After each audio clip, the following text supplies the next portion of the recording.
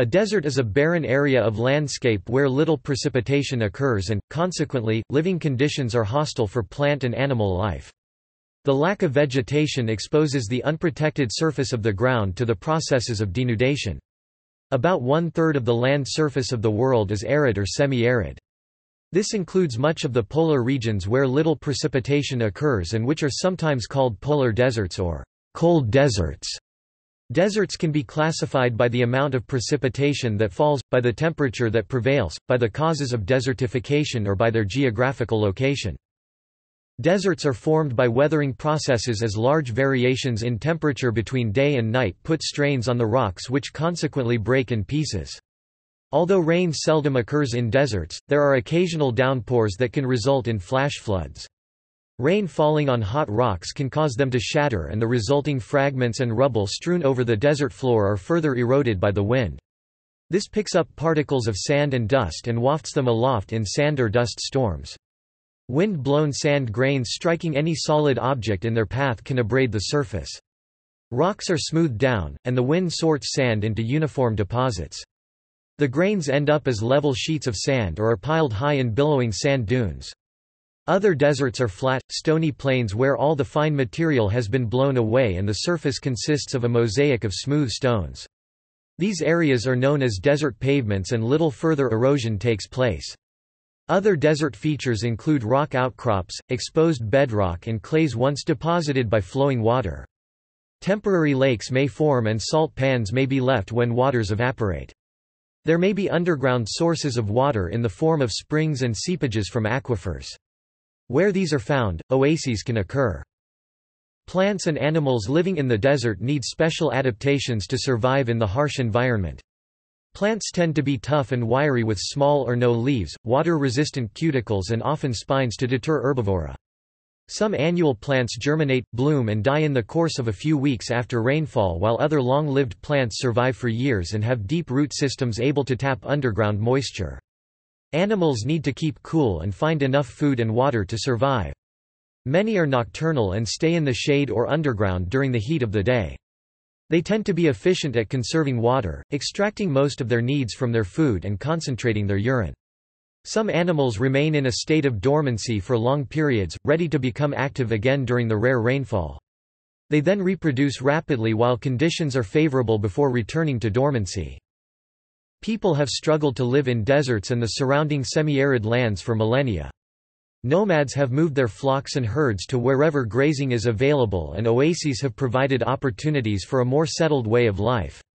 The cultivation of semi-arid regions encourages erosion of soil and is one of the causes of increased desertification. Desert farming is possible with the aid of irrigation, and the Imperial Valley in California provides an example of how previously barren land can be made productive by the import of water from an outside source. Many trade routes have been forged across deserts, especially across the Sahara Desert, and traditionally were used by caravans of camels carrying salt, gold, ivory and other goods. Large numbers of slaves were also taken northwards across the Sahara. Some mineral extraction also takes place in deserts, and the uninterrupted sunlight gives potential for the capture of large quantities of solar energy.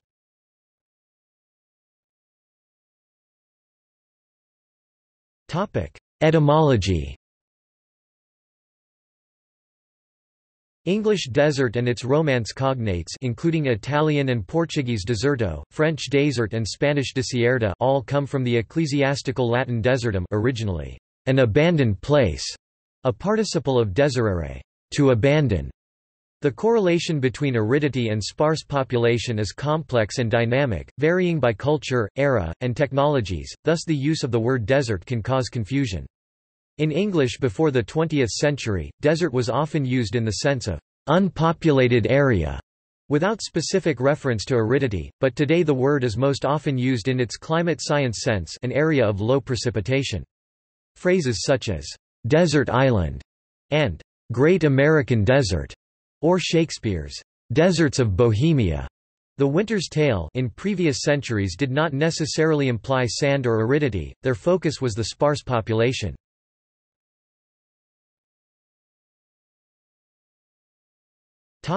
Physical geography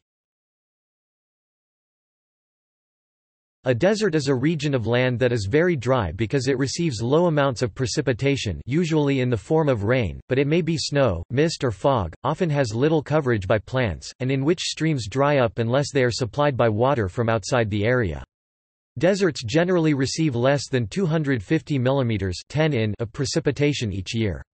The potential evapotranspiration may be large but in the absence of available water the actual evapotranspiration may be close to zero. Semi-deserts are regions which receive between 250 and 500 mm 10 and 20 in and when clad in grass, these are known as steppes.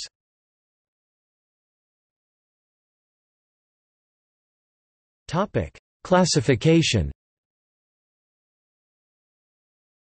Deserts have been defined and classified in a number of ways, generally combining total precipitation, number of days on which this falls, temperature, and humidity, and sometimes additional factors. For example, Phoenix, Arizona, receives less than 250 mm 9.8 in of precipitation per year, and is immediately recognized as being located in a desert because of its aridity-adapted plants. The north slope of Alaska's Brooks Range also receives less than 250 mm 9.8 in of precipitation per year and is often classified as a cold desert. Other regions of the world have cold deserts, including areas of the Himalayas and other high-altitude areas in other parts of the world. Polar deserts cover much of the ice-free areas of the Arctic and Antarctic. A non-technical definition is that deserts are those parts of the Earth's surface that have insufficient vegetation cover to support a human population. Potential evapotranspiration supplements the measurement of precipitation in providing a scientific measurement-based definition of a desert. The water budget of an area can be calculated using the formula P minus PE plus or minus S, wherein P is precipitation, PE is potential evapotranspiration rates and S is the amount of surface storage of water. Evapotranspiration is the combination of water loss through atmospheric evaporation and through the life processes of plants. Potential evapotranspiration, then, is the amount of water that could evaporate in any given region. As an example, Tucson, Arizona receives about 300 mm 12 in of rain per year, however about 2,500 mm 98 in of water could evaporate over the course of a year. In other words, about eight times more water could evaporate from the region than actually falls as rain. Rates of evapotranspiration in cold regions such as Alaska are much lower because of the lack of heat to aid in the evaporation process. Deserts are sometimes classified as hot or cold semi-arid, or coastal. The characteristics of hot deserts include high temperatures in summer, greater evaporation than precipitation usually exacerbated by high temperatures, strong winds and lack of cloud cover, considerable variation in the occurrence of precipitation, its intensity and distribution, and low humidity. Winter temperatures vary considerably between different deserts and are often related to the location of the desert on the continental landmass and the latitude. Daily variations in temperature can be as great as 22 degrees Celsius 40 degrees Fahrenheit or more, with heat loss by radiation at night being increased by the clear skies. Cold deserts, sometimes known as temperate deserts, occur at higher latitudes than hot deserts, and the aridity is caused by the dryness of the air. Some cold deserts are far from the ocean and others are separated by mountain ranges from the sea, and in both cases, there is insufficient moisture in the air to cause much precipitation. The largest of these deserts are found in Central Asia. Others occur on the eastern side of the Rocky Mountains, the eastern side of the southern Andes and in southern Australia. Polar deserts are a particular class of cold desert. The air is very cold and carries little moisture so little precipitation occurs and what does fall, usually snow, is carried along in the often strong wind and may form blizzards, drifts and dunes similar to those caused by dust and sand in other desert regions. In Antarctica, for example, the annual precipitation is about 50 mm 2 in on the central plateau and some 10 times that amount on some major peninsulas. Based on precipitation alone, hyperarid deserts receive less than 25 mm 1 in of rainfall a year, they have no annual seasonal cycle of precipitation and experience 12-month periods with no rainfall at all. Arid deserts receive between 25 and 200 mm 1 and 8 in, in a year and semi-arid deserts between 200 and 500 mm 8 and 20 in.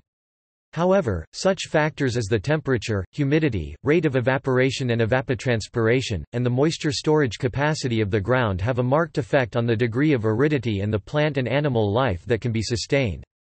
Rain falling in the cold season may be more effective at promoting plant growth, and defining the boundaries of deserts and the semi-arid regions that surround them on the grounds of precipitation alone is problematic. A semi-arid desert or a steppe is a version of the arid desert with much more rainfall, vegetation and higher humidity. These regions feature a semi-arid climate and are less extreme than regular deserts. Like arid deserts, temperatures can vary greatly in semi-deserts. They share some characteristics of a true desert and are usually located at the edge of deserts and continental dry areas. They usually receive precipitation from 250 mm 10 in to 500 mm 20 in but this can vary due to evapotranspiration and soil nutrition. Semi-deserts can be found in the Tabernas Desert and some of the Spanish Plateau, the Sahel, the Eurasian steppe, most of Central Asia, the western U.S., most of northern Mexico, portions of South America especially in Argentina and the Australian outback. They usually feature BSH hot steppe or BSK temperate steppe in the Köppen climate classification. Coastal deserts are mostly found on the western edges of continental land masses in regions where cold currents approach the land or cold water upwellings rise from the ocean depths. The cool winds crossing this water pick up little moisture and the coastal regions have low temperatures and very low rainfall, the main precipitation being in the form of fog and dew. The range of temperatures on a daily and annual scale is relatively low, being 11 degrees Celsius (20 degrees Fahrenheit) and 5 degrees Celsius (9 degrees Fahrenheit) respectively in the Atacama Desert.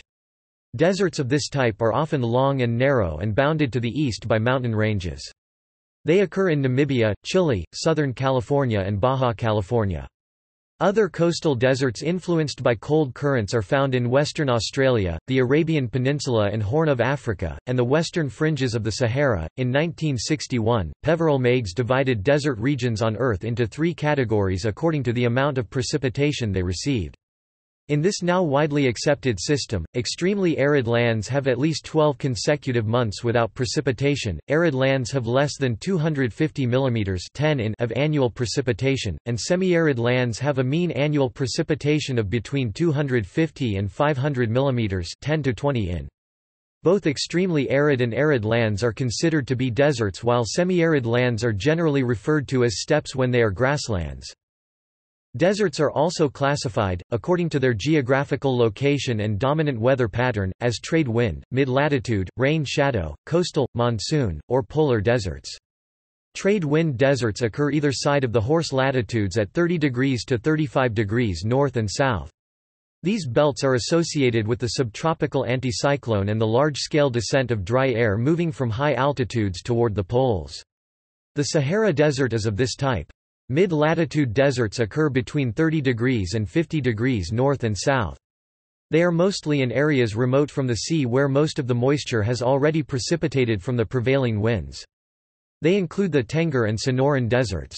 Monsoon deserts are similar. They occur in regions where large temperature differences occur between sea and land. Moist warm air rises over the land, deposits its water content and circulates back to sea. Further inland, areas receive very little precipitation. The Thar Desert near the India-Pakistan border is of this type. In some parts of the world, deserts are created by a rain-shadow effect. Orographic lift occurs as air masses rise to pass over high ground. In the process they cool and lose much of their moisture by precipitation on the windward slope of the mountain range. When they descend on the leeward side, they warm and their capacity to hold moisture increases so an area with relatively little precipitation occurs. The Taklamakan Desert is an example, lying in the rain shadow of the Himalayas and receiving less than 38 mm 1.5 in precipitation annually. Other areas are arid by virtue of being a very long way from the nearest available sources of moisture. Montane deserts are arid places with a very high altitude. The most prominent example is found north of the Himalayas, in the Kunlun Mountains and the Tibetan Plateau. Many locations within this category have elevations exceeding 3,000 meters (9,800 feet), and the thermal regime can be hemiboreal. These places owe their profound aridity the average annual precipitation is often less than 40 mm or 1.5 in to being very far from the nearest available sources of moisture and are often in the lee of mountain ranges. Montane deserts are normally cold, or may be scorchingly hot by day and very cold by night as is true of the northeastern slopes of Mount Kilimanjaro. Polar deserts such as McMurdo dry valleys remain ice-free because of the dry katabatic winds that flow downhill from the surrounding mountains. Former desert areas presently in non-arid environments, such as the sandhills in Nebraska, are known as paleodeserts. In the Köppen climate classification system, deserts are classed as BWH hot desert or BWK temperate desert. In the Thornthwaite climate classification system, deserts would be classified as arid megathermal climates.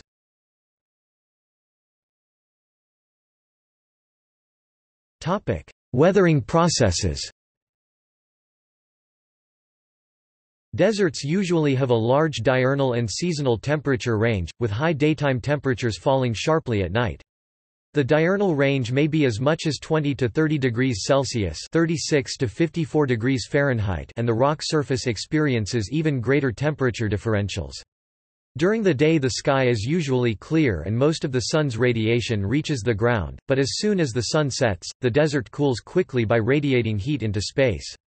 In hot deserts, the temperature during daytime can exceed 45 degrees Celsius (113 degrees Fahrenheit) in summer and plunge below freezing point at night during winter.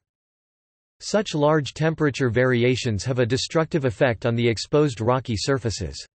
The repeated fluctuations put a strain on exposed rock and the flanks of mountains crack and shatter. Fragmented strata slide down into the valleys where they continue to break into pieces due to the relentless sun by day and chill by night. Successive strata are exposed to further weathering. The relief of the internal pressure that has built up in rocks that have been underground for eons can cause them to shatter. Exfoliation also occurs when the outer surfaces of rocks split off in flat flakes. This is believed to be caused by the stresses put on the rock by repeated expansions and contractions which induces fracturing parallel to the original surface. Chemical weathering processes probably play a more important role in deserts than was previously thought. The necessary moisture may be present in the form of dew or mist. Groundwater may be drawn to the surface by evaporation and the formation of salt crystals may dislodge rock particles as sand or disintegrate rocks by exfoliation. Shallow caves are sometimes formed at the base of cliffs by this means. As the desert mountains decay, large areas of shattered rock and rubble occur. The process continues and the end products are either dust or sand. Dust is formed from solidified clay or volcanic deposits whereas sand results from the fragmentation of harder granites, limestone and sandstone. There is a certain critical size about 0.5 mm below which further temperature-induced weathering of rocks does not occur and this provides a minimum size for sand grains. As the mountains are eroded, more and more sand is created. At high wind speeds, sand grains are picked up off the surface and blown along, a process known as saltation. The whirling airborne grains act as a sand-blasting mechanism which grinds away solid objects in its path as the kinetic energy of the wind is transferred to the ground. The sand eventually ends up deposited in level areas known as sand fields or sand seas, or piled up in dunes.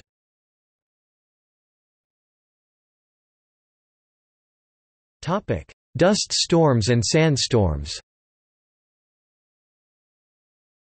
Sand and dust storms are natural events that occur in arid regions where the land is not protected by a covering of vegetation. Dust storms usually start in desert margins rather than the deserts themselves where the finer materials have already been blown away. As a steady wind begins to blow, fine particles lying on the exposed ground begin to vibrate. At greater wind speeds, some particles are lifted into the airstream. When they land, they strike other particles which may be jerked into the air in their turn, starting a chain reaction. Once ejected, these particles move in one of three possible ways, depending on their size, shape and density, suspension, saltation or creep. Suspension is only possible for particles less than 0.1 mm (0.004 in) in diameter. In a dust storm, these fine particles are lifted up and wafted aloft to heights of up to 6 km 3.7 miles.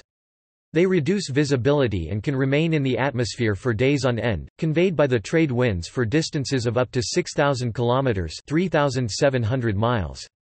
Denser clouds of dust can be formed in stronger winds, moving across the land with a billowing leading edge. The sunlight can be obliterated and it may become as dark as night at ground level.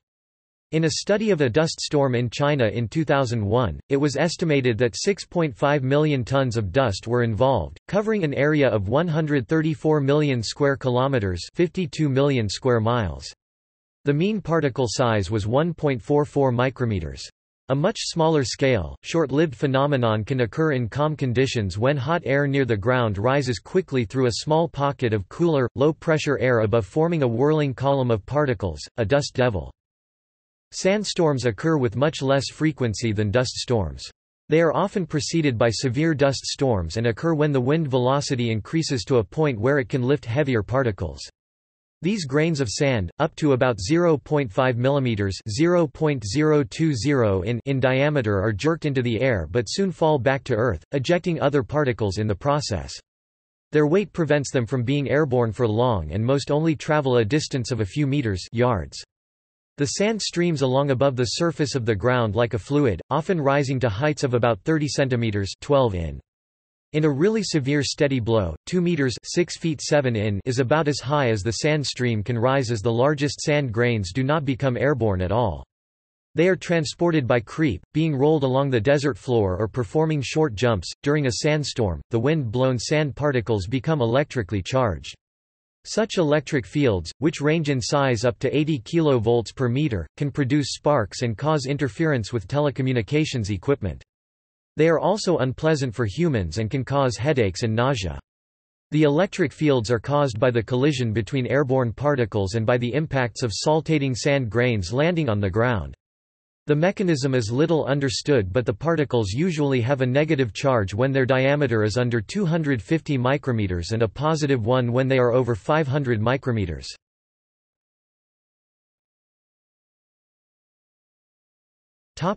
Major deserts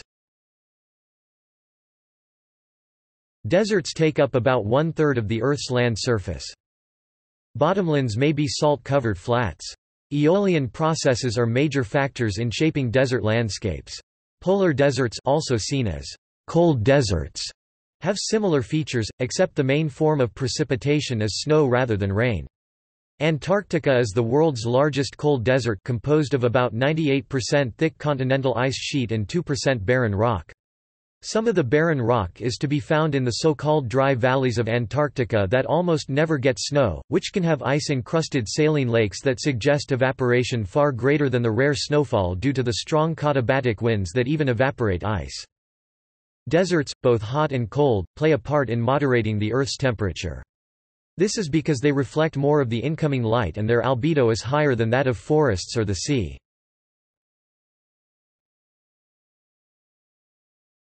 Topic: Features. Many people think of deserts as consisting of extensive areas of billowing sand dunes because that is the way they are often depicted on TV and in films, but deserts do not always look like this. Across the world, around 20% of desert is sand, varying from only 2% in North America to 30% in Australia and over 45% in Central Asia. Where sand does occur, it is usually in large quantities in the form of sand sheets or extensive areas of dunes. A sand sheet is a near-level, firm expanse of partially consolidated particles in a layer that varies from a few centimeters to a few meters thick. The structure of the sheet consists of thin horizontal layers of coarse silt and very fine to medium grain sand, separated by layers of coarse sand and pea gravel which are a single grain thick. These larger particles anchor the other particles in place and may also be packed together on the surface so as to form a miniature desert pavement. Small ripples form on the sand sheet when the wind exceeds 24 km per hour, 15 miles per hour. They form perpendicular to the wind direction and gradually move across the surface as the wind continues to blow. The distance between their crests corresponds to the average length of jumps made by particles during saltation. The ripples are ephemeral and a change in wind direction causes them to reorganize. Sand dunes are accumulations of wind-blown sand piled up in mounds or ridges. They form downwind of copious sources of dry, loose sand and occur when topographic and climatic conditions cause airborne particles to settle. As the wind blows, saltation and creep take place on the windward side of the dune and individual grains of sand move uphill. When they reach the crest, they cascade down the far side. The upwind slope typically has a gradient of 10 degrees to 20 degrees while the lee slope is around 32 degrees, the angle at which loose dry sand will slip. As this wind-induced movement of sand grains takes place, the dune moves slowly across the surface of the ground. Dunes are sometimes solitary, but they are more often grouped together in dune fields. When these are extensive, they are known as sand seas or ergs. The shape of the dune depends on the characteristics of the prevailing wind. Barchan dunes are produced by strong winds blowing across a level surface and are crescent-shaped with the concave side away from the wind. When there are two directions from which winds regularly blow, a series of long, linear dunes known as seif dunes may form. These also occur parallel to a strong wind that blows in one general direction. Transverse dunes run at a right angle to the prevailing wind direction. Star dunes are formed by variable winds, and have several ridges and slip faces radiating from a central point. They tend to grow vertically, they can reach a height of 500 meters 1,600 feet, making them the tallest type of dune. Rounded mounds of sand without a slip face are the rare dome dunes, found on the upwind edges of sand seas. A large part of the surface area of the world's deserts consists of flat, stone-covered plains dominated by wind erosion. In Aeolian deflation. The wind continually removes fine-grained material, which becomes wind-blown sand. This exposes coarser-grained material, mainly pebbles with some larger stones or cobbles, leaving a desert pavement, an area of land overlaid by closely packed smooth stones forming a tessellated mosaic. Different theories exist as to how exactly the pavement is formed. It may be that after the sand and dust is blown away by the wind the stones jiggle themselves into place, alternatively, stones previously below ground may in some way work themselves to the surface. Very little further erosion takes place after the formation of a pavement, and the ground becomes stable. Evaporation brings moisture to the surface by capillary action and calcium salts may be precipitated, binding particles together to form a desert conglomerate. In time, bacteria that live on the surface of the stones accumulate a film of minerals and clay particles, forming a shiny brown coating known as desert varnish. Other non sandy deserts consist of exposed outcrops of bedrock, dry soils or aridisols, and a variety of landforms affected by flowing water, such as alluvial fans, sinks or playas, temporary or permanent lakes, and oases. A hamada is a type of desert landscape consisting of a high rocky plateau where the sand has been removed by aeolian processes. Other landforms include plains largely covered by gravels and angular boulders, from which the finer particles have been stripped by the wind. These are called reg in the western Sahara, sarir in the eastern Sahara, gibber plains in Australia and sai in Central Asia. The Tassili Plateau in Algeria is an impressive jumble of eroded sandstone outcrops, canyons, blocks, pinnacles, fissures, slabs and ravines. In some places the wind has carved holes or arches, and in others, it has created mushroom-like pillars narrower at the base than the top. In the Colorado Plateau it is water that has been the eroding force. Here the Colorado River has cut its way over the millennia through the high desert floor creating a canyon that is over a mile 6,000 feet or 1,800 meters deep in places, exposing strata that are over 2 billion years old.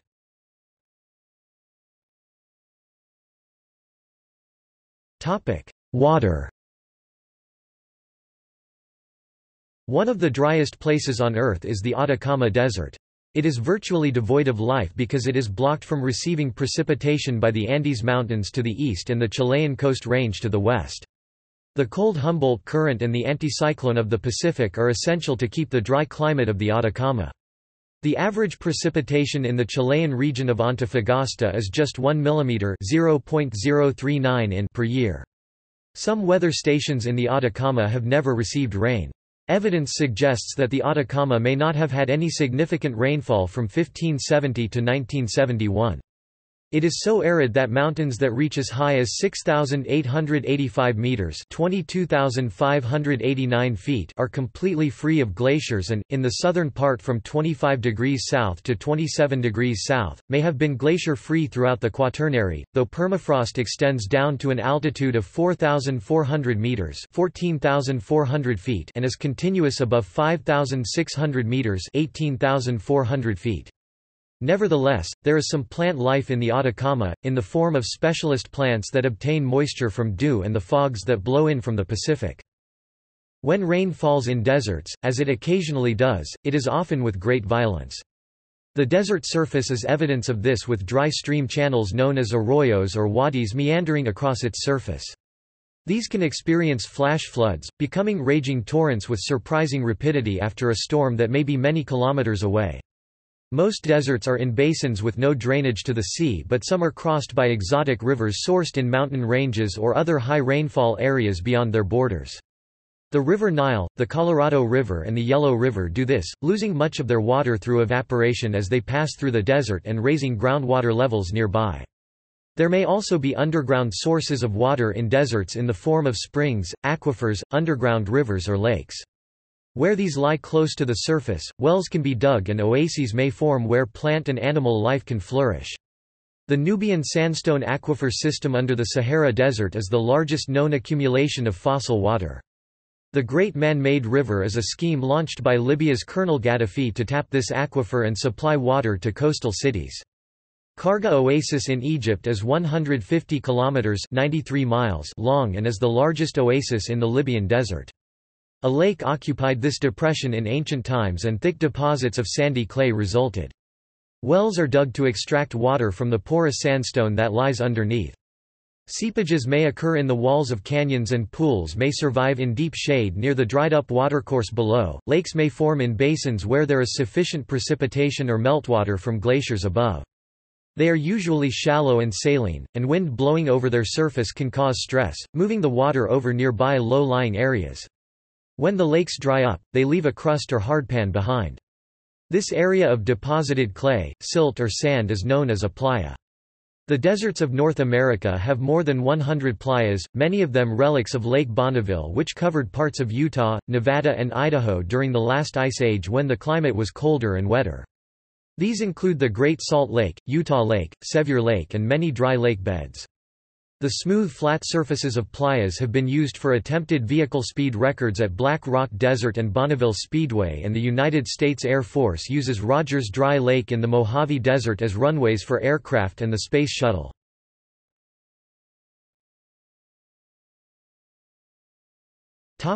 Biogeography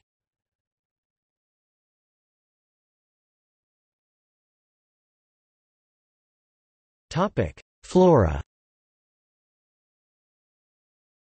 Plants face severe challenges in arid environments. Problems they need to solve include how to obtain enough water, how to avoid being eaten and how to reproduce. Photosynthesis is the key to plant growth. It can only take place during the day as energy from the sun is required, but during the day, many deserts become very hot. Opening stomata to allow in the carbon dioxide necessary for the process causes evapotranspiration, and conservation of water is a top priority for desert vegetation. Some plants have resolved this problem by adopting crassulacean acid metabolism, allowing them to open their stomata during the night to allow CO2 to enter, and close them during the day, or by using C4 carbon fixation. Many desert plants have reduced the size of their leaves or abandoned them altogether.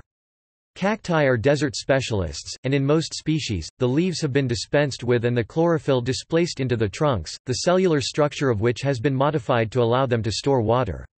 When rain falls, the water is rapidly absorbed by the shallow roots and retained to allow them to survive until the next downpour, which may be months or years away. The giant saguaro cacti of the Sonoran Desert form forests, providing shade for other plants and nesting places for desert birds. Saguaro grows slowly but may live for up to 200 years. The surface of the trunk is folded like a concertina, allowing it to expand, and a large specimen can hold 8 tons of water after a good downpour. Cacti are present in both North and South America with a post-Gondwana origin. Other xerophytic plants have developed similar strategies by a process known as convergent evolution.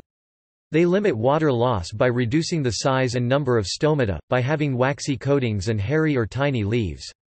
Some are deciduous, shedding their leaves in the driest season, and others curl their leaves up to reduce transpiration. Others store water in succulent leaves or stems or in fleshy tubers. Desert plants maximize water uptake by having shallow roots that spread widely, or by developing long taproots that reach down to deep rock strata for groundwater. The saltbush in Australia has succulent leaves and secretes salt crystals, enabling it to live in saline areas. In common with cacti, many have developed spines to ward off browsing animals. Some desert plants produce seed which lies dormant in the soil until sparked into growth by rainfall. When annuals, such plants grow with great rapidity and may flower and set seed within weeks, aiming to complete their development before the last vestige of water dries up. For perennial plants, reproduction is more likely to be successful if the seed germinates in a shaded position, but not so close to the parent plant as to be in competition with it. Some seed will not germinate until it has been blown about on the desert floor to scarify the seed coat. The seed of the mesquite tree, which grows in deserts in the Americas, is hard and fails to sprout even when planted carefully. When it has passed through the gut of a pronghorn it germinates readily, and the little pile of moist dung provides an excellent start to life well away from the parent tree. The stems and leaves of some plants lower the surface velocity of sand-carrying winds and protect the ground from erosion. Even small fungi and microscopic plant organisms found on the soil surface so-called cryptobiotic soil can be a vital link in preventing erosion and providing support for other living organisms. Cold deserts often have high concentrations of salt in the soil. Grasses and low shrubs are the dominant vegetation here and the ground may be covered with lichens. Most shrubs have spiny leaves and shed them in the coldest part of the year.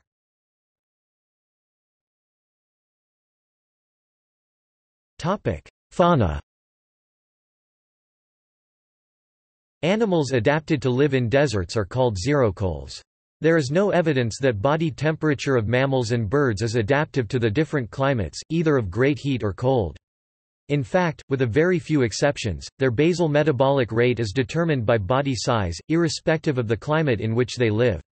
Many desert animals and plants show especially clear evolutionary adaptations for water conservation or heat tolerance and so are often studied in comparative physiology, ecophysiology, and evolutionary physiology.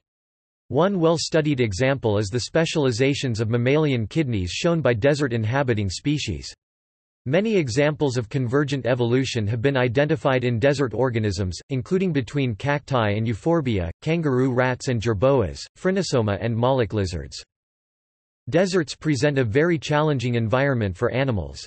Not only do they require food and water but they also need to keep their body temperature at a tolerable level. In many ways, birds are the ablest to do this of the higher animals. They can move to areas of greater food availability as the desert blooms after local rainfall and can fly to faraway waterholes. In hot deserts, gliding birds can remove themselves from the overheated desert floor by using thermals to soar in the cooler air at great heights. In order to conserve energy, other desert birds run rather than fly. The cream-colored courser flits gracefully across the ground on its long legs, stopping periodically to snatch up insects. Like other desert birds, it is well camouflaged by its coloring and can merge into the landscape when stationary. The sandgrouse is an expert at this and nests on the open desert floor dozens of kilometers miles away from the waterhole it needs to visit daily. Some small diurnal birds are found in very restricted localities where their plumage matches the color of the underlying surface. The desert lark takes frequent dust baths which ensures that it matches its environment. Water and carbon dioxide are metabolic end products of oxidation of fats, proteins, and carbohydrates. Oxidizing a gram of carbohydrate produces 0.60 grams of water, a gram of protein produces 0.41 grams of water, and a gram of fat produces 1.07 grams of water, making it possible for xerocoles to live with little or no access to drinking water. The kangaroo rat for example makes use of this water of metabolism and conserves water both by having a low basal metabolic rate and by remaining underground during the heat of the day, reducing loss of water through its skin and respiratory system when at rest. Herbivorous mammals obtain moisture from the plants they eat. Species such as the addax antelope, dik-dik, Grant's gazelle and oryx are so efficient at doing this that they apparently never need to drink. The camel is a superb example of a mammal adapted to desert life. It minimizes its water loss by producing concentrated urine and dry dung, and is able to lose 40% of its body weight through water loss without dying of dehydration. Carnivores can obtain much of their water needs from the body fluids of their prey. Many other hot desert animals are nocturnal, seeking out shade during the day or dwelling underground in burrows. At depths of more than 50 centimeters 20 in, these remain at between 30 to 32 degrees Celsius 86 to 90 degrees Fahrenheit regardless of the external temperature. Jerboas, desert rats, kangaroo rats and other small rodents emerge from their burrows at night and so do the foxes, coyotes, jackals and snakes that prey on them. Kangaroos keep cool by increasing their respiration rate, panting, sweating and moistening the skin of their forelegs with saliva. Mammals living in cold deserts have developed greater insulation through warmer body fur and insulating layers of fat beneath the skin. The Arctic weasel has a metabolic rate that is two or three times as high as would be expected for an animal of its size. Birds have avoided the problem of losing heat through their feet by not attempting to maintain them at the same temperature as the rest of their bodies, a form of adaptive insulation. The emperor penguin has dense plumage, a downy underlayer, an air insulation layer next the skin and various thermoregulatory strategies to maintain its body temperature in one of the harshest environments on Earth. Being ectotherms, reptiles are unable to live in cold deserts but are well suited to hot ones. In the heat of the day in the Sahara, the temperature can rise to 50 degrees Celsius 122 degrees Fahrenheit. Reptiles cannot survive at this temperature and lizards will be prostrated by heat at 45 degrees Celsius 113 degrees Fahrenheit. They have few adaptations to desert life and are unable to cool themselves by sweating so they shelter during the heat of the day. In the first part of the night, as the ground radiates the heat absorbed during the day, they emerge and search for prey.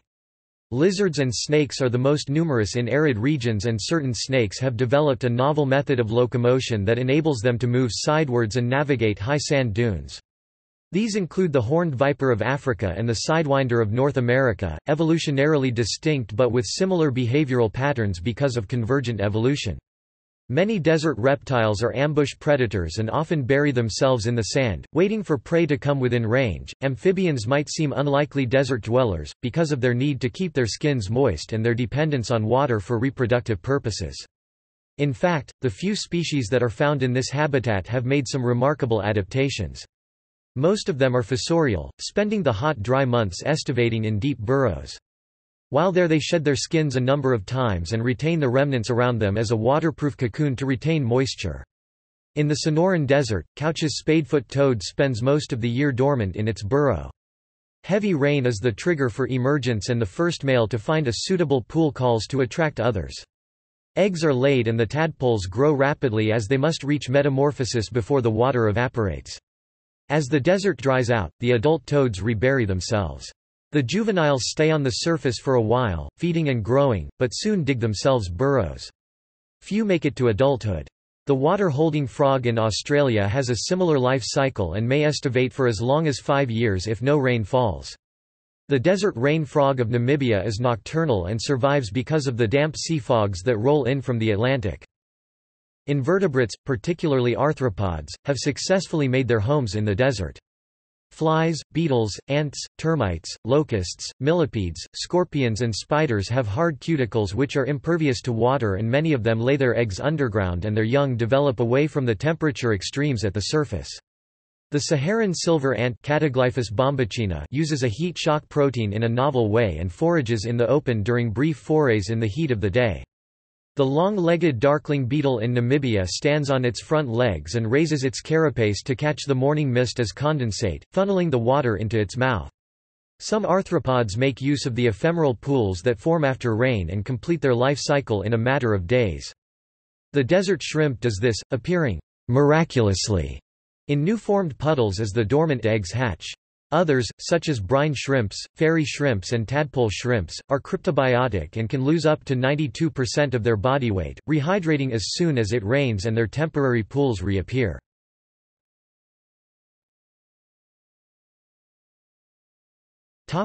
Human relations Humans have long made use of deserts as places to live, and more recently have started to exploit them for minerals and energy capture. Deserts play a significant role in human culture with an extensive literature.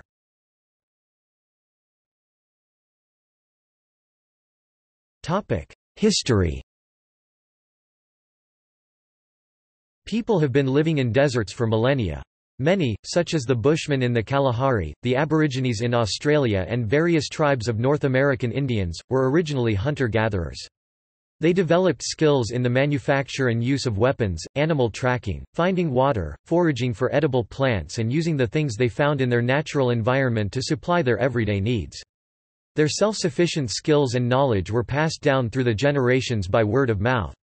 Other cultures developed a nomadic way of life as herders of sheep, goats, cattle, camels, yaks, llamas or reindeer.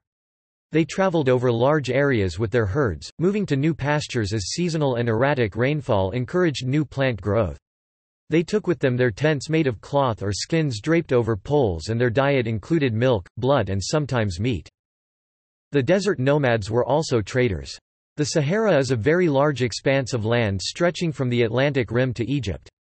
Trade routes were developed linking the Sahel in the south with the fertile Mediterranean region to the north and large numbers of camels were used to carry valuable goods across the desert interior. The Tuareg were traders and the goods transported traditionally included slaves, ivory and gold going northwards and salt going southwards.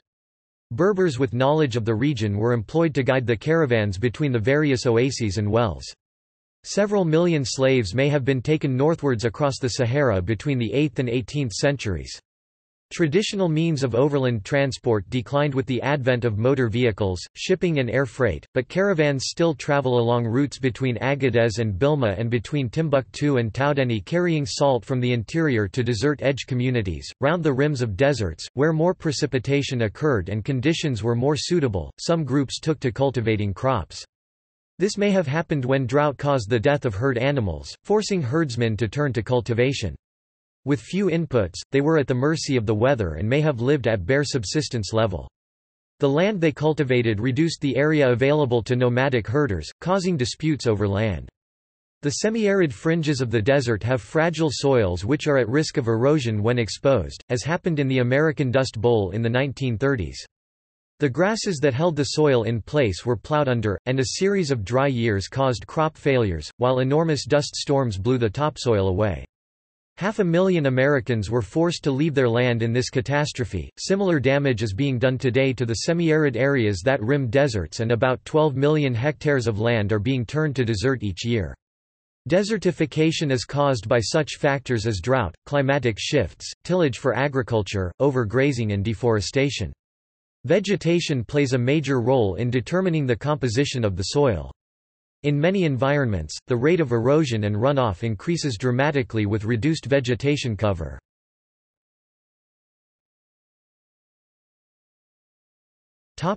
Natural resource extraction Deserts contain substantial mineral resources, sometimes over their entire surface, giving them their characteristic colors. For example, the red of many sand deserts comes from laterite minerals. Geological processes in a desert climate can concentrate minerals into valuable deposits.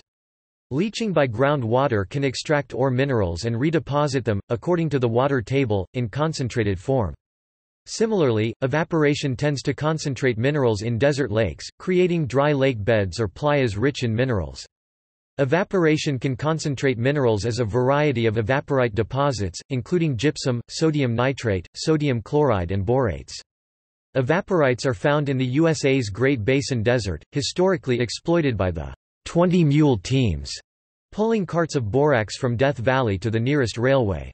A desert especially rich in mineral salts is the Atacama Desert, Chile, where sodium nitrate has been mined for explosives and fertilizer since around 1850. Other desert minerals are copper from Chile, Peru, and Iran, and iron and uranium in Australia. Many other metals, salts and commercially valuable types of rock such as pumice are extracted from deserts around the world. Oil and gas form on the bottom of shallow seas when microorganisms decompose under anoxic conditions and later become covered with sediment. Many deserts were at one time the sites of shallow seas and others have had underlying hydrocarbon deposits transported to them by the movement of tectonic plates. Some major oilfields such as Ghawar are found under the sands of Saudi Arabia. Geologists believe that other oil deposits were formed by aeolian processes in ancient deserts as may be the case with some of the major American oil fields.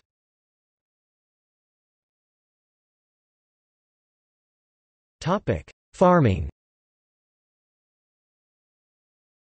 Traditional desert farming systems have long been established in North Africa, irrigation being the key to success in an area where water stress is a limiting factor to growth. Techniques that can be used include drip irrigation, the use of organic residues or animal manures as fertilizers and other traditional agricultural management practices. Once fertility has been built up, further crop production preserves the soil from destruction by wind and other forms of erosion. It has been found that plant growth promoting bacteria play a role in increasing the resistance of plants to stress conditions and these rhizobacterial suspensions could be inoculated into the soil in the vicinity of the plants. A study of these microbes found that desert farming hampers desertification by establishing islands of fertility allowing farmers to achieve increased yields despite the adverse environmental conditions. A field trial in the Sonoran Desert which exposed the roots of different species of tree to rhizobacteria and the nitrogen-fixing bacterium Azospirillum brasilense with the aim of restoring degraded lands was only partially successful. The Judean Desert was farmed in the 7th century BC during the Iron Age to supply food for desert forts. Native Americans in the southwestern United States became agriculturalists around 600 AD when seeds and technologies became available from Mexico. They used terracing techniques and grew gardens beside seeps, in moist areas at the foot of dunes, near streams providing flood irrigation and in areas irrigated by extensive specially built canals.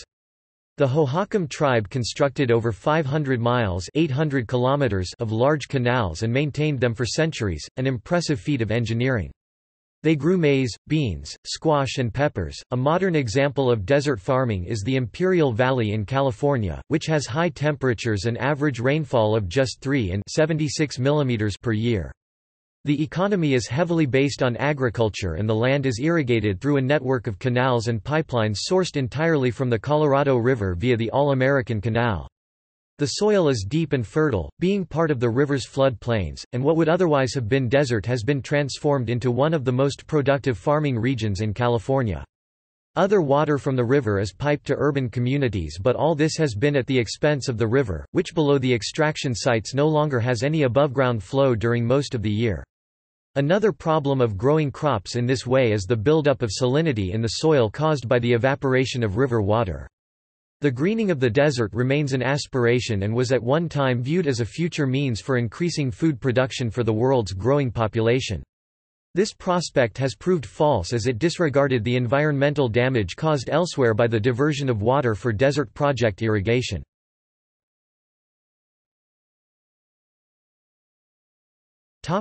Solar energy capture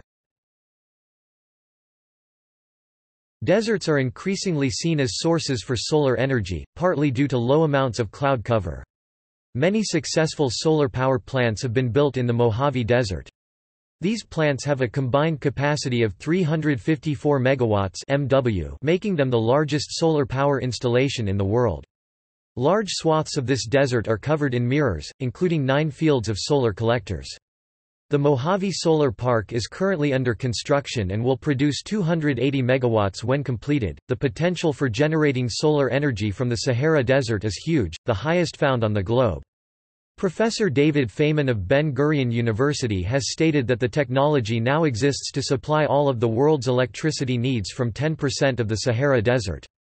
Desertec Industrial Initiative was a consortium seeking $560 billion to invest in North African solar and wind installations over the next 40 years to supply electricity to Europe via cable lines running under the Mediterranean Sea.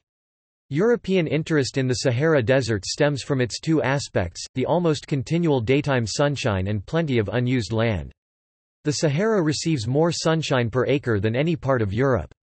The Sahara Desert also has the empty space totaling hundreds of square miles required to house fields of mirrors for solar plants. The Negev Desert, Israel, and the surrounding area, including the Arava Valley, receive plenty of sunshine and are generally not arable. This has resulted in the construction of many solar plants. David Faiman has proposed that giant solar plants in the Negev could supply all of Israel's needs for electricity.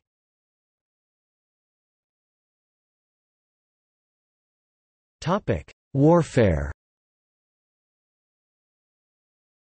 The Arabs were probably the first organized force to conduct successful battles in the desert. By knowing back routes and the locations of oases and by utilizing camels, Muslim Arab forces were able to successfully overcome both Roman and Persian forces in the period 600 to 700 AD during the expansion of the Islamic Caliphate. Many centuries later, both world wars saw fighting in the desert. In the First World War, the Ottoman Turks were engaged with the British Regular Army in a campaign that spanned the Arabian Peninsula. The Turks were defeated by the British, who had the backing of irregular Arab forces that were seeking to revolt against the Turks in the Hejaz, made famous in T.E. Lawrence's book Seven Pillars of Wisdom. In the Second World War, the Western Desert Campaign began in Italian Libya. Warfare in the desert offered great scope for tacticians to use the large open spaces without the distractions of casualties among civilian populations. Tanks and armored vehicles were able to travel large distances unimpeded and landmines were laid in large numbers. However, the size and harshness of the terrain meant that all supplies needed to be brought in from great distances. The victors in a battle would advance and their supply chain would necessarily become longer, while the defeated army could retreat, regroup and resupply. For these reasons, the front line moved back and forth through hundreds of kilometers as each side lost and regained momentum. Its most easterly point was at El Alamein in Egypt, where the Allies decisively defeated the Axis forces in 1942.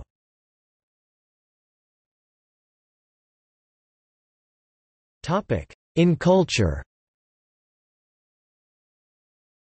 The desert is generally thought of as a barren and empty landscape. It has been portrayed by writers, filmmakers, philosophers, artists and critics as a place of extremes, a metaphor for anything from death, war or religion to the primitive past or the desolate future. There is an extensive literature on the subject of deserts. An early historical account is that of Marco Polo c. 1254–1324, who traveled through Central Asia to China, crossing a number of deserts in his 24-year trek. Some accounts give vivid descriptions of desert conditions, though often accounts of journeys across deserts are interwoven with reflection, as is the case in Charles Montagu Doughty's major work, Travels in Arabia Deserta 1888. Antoine de Saint-Exupéry described both his flying and the desert in wind, sand and stars and Gertrude Bell travelled extensively in the Arabian desert in the early part of the 20th century, becoming an expert on the subject, writing books and advising the British government on dealing with the Arabs. Another woman explorer was Freya Stark who traveled alone in the Middle East, visiting Turkey, Arabia, Yemen, Syria, Persia and Afghanistan, writing over 20 books on her experiences. The German naturalist Uwe George spent several years living in deserts, recording his experiences and research in his book, In the Deserts of This Earth. The American poet Robert Frost expressed his bleak thoughts in his poem, Desert Places, which ends with the stanza They cannot scare me with their empty spaces, between stars, on stars where no human race is. I have it in me so much nearer home, to scare myself with my own desert places.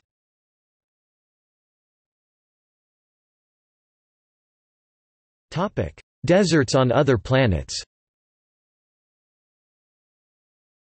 Mars is the only planet in the Solar System on which deserts have been identified. Despite its low surface atmospheric pressure only one one-hundredth of that of the Earth, the patterns of atmospheric circulation on Mars have formed a sea of circumpolar sand more than 5 million square kilometers 1.9 million square miles in the area, much larger than deserts on Earth. The Martian deserts principally consist of dunes in the form of half-moons in flat areas near the permanent polar ice caps in the north of the planet. The smaller dune fields occupy the bottom of many of the craters situated in the Martian polar regions. Examination of the surface of rocks by laser beamed from the Mars Exploration Rover have shown a surface film that resembles the desert varnish found on Earth although it might just be surface dust. The surface of Titan, a moon of Saturn, also has a desert-like surface with dune seas. See also